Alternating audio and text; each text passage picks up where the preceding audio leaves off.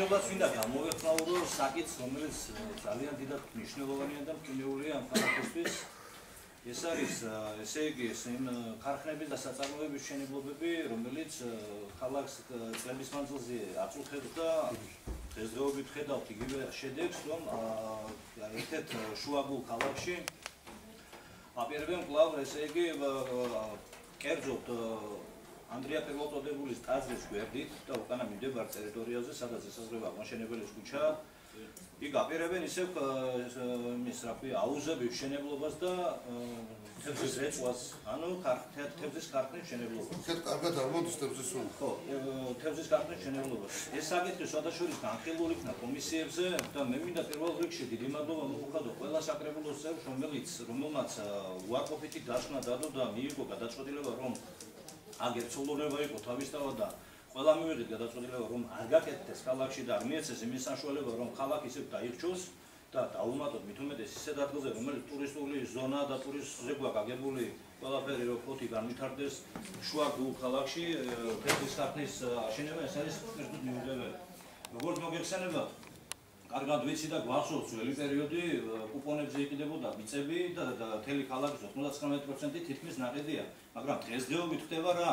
დღესდღეობით ახალი მეთოდია შემუშავებული, რომელიც თვითმართველობის გვერდით ავლით ხდება, ესე იგი, პირდაპირ კორუფციული გზით, ახალი მეთოდებით გარიგებით ეკონომიკის სამინისტროსთან გარიგება და იქიდან გამომდინარე ხდება უკვე თვითმართველობაზე თუგინს ეწოლა დავარქვათ და თუგინს მოთხოვნა დავარქვათ და თხოვნა დავარქვათ, ესე იგი, ქალაქის თვითმართველობის გვერდით ავლით გადაცემა მიწის ეკონომიკის სამინისტროს. და აი მაგალ ჩინოსნები რომელიც ხედან ზემოთ და ასეთი ქმედებები ერთ-ერთი უკვე გენპროკურატურაში არის საქმე და კარგად ვიცით რომელიც იავნისთვიში გადაეცა ეს მიწა.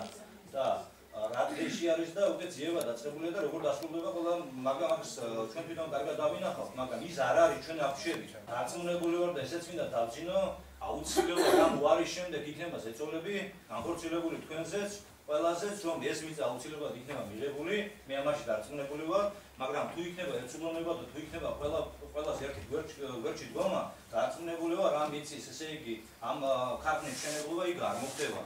რადგან ყველანი ჩვენ წინააღმდეგი ვართ დეობით.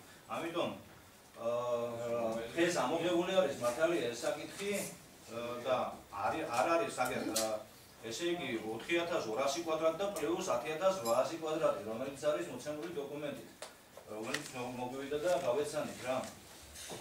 ამიტომ ძალიან დიდი თხოვნა გვეცემა რა მივიღოთ გადაწყვეტილება ეს ქალაქის ინტერესებიდან გამომდინარე გავაკეთოთ და არა ვიღაცა ერთ-ერთი ჩინოვნიკის რომელიც რაღაც კიდევ გამეორე კორუფციულ გარიგებებში და აი ბიზნესმენთა ჯგუფი რომელიც არძღებიან ამ ქალაქის მიწებით ისე ქვეყნისა ეს მიწები აყვენ მაგრამ სამდაც აი უნარიციან მეტი ისევ მიწა უნდა თორე 1000 ტერიტორიები და ადგილები არის სადაც შეიძლება აი ესეთი მშენებლობები სადაც ქალაქს არ დაასიანებს და თანამოქალაქეებს ჩვენს არ დაასიანებს. წლების მანძილზე მოყოლებული ბოლო წლების მანძილზე ყველას კარგად გვახსოვს, რამდენი პროტესტი იყო მოქალაქეებიდან გაკეთებული ამ თევზის ქარხნებთან და თევზის სულთან დაკავშირებით. მე მგონი ყველა მიცით ზოგ-ზოგიერთი მე მგონი ვაგა დებულობით მონაწილეობას ხო ამასთან დაკავშირებით სანამ აკუთვნებოდით საკრებულოს წევრები.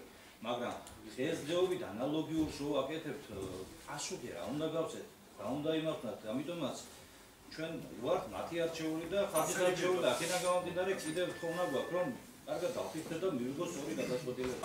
რაც ბატონმა პატა ჩაგანავა საკრებულოს წევრმა დიახ განცხადება გააკეთა იმას მე ვიყოდი ასე. ვინც ფოთისთვის საქართველოსთვის არასწორად გააკეთეს მე პირადად მე მიმაჩნია რომ ის ფოთის